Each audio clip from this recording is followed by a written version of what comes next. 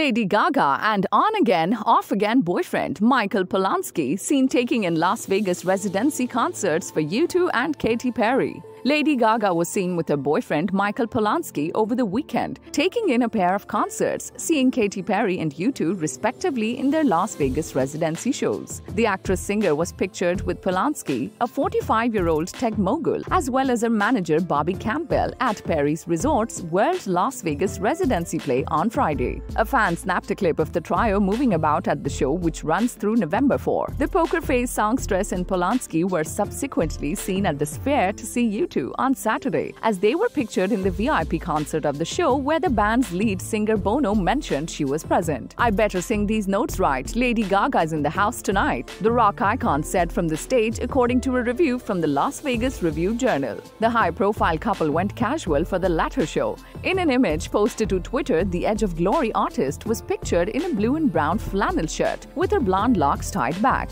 Polansky was pictured inside the state of the art venue donning a navy blue sweatshirt with a grey cap. Subscribe to our channel for the latest on your favorite celebrities. Like, comment, and share, and don't forget to press the bell icon for notifications.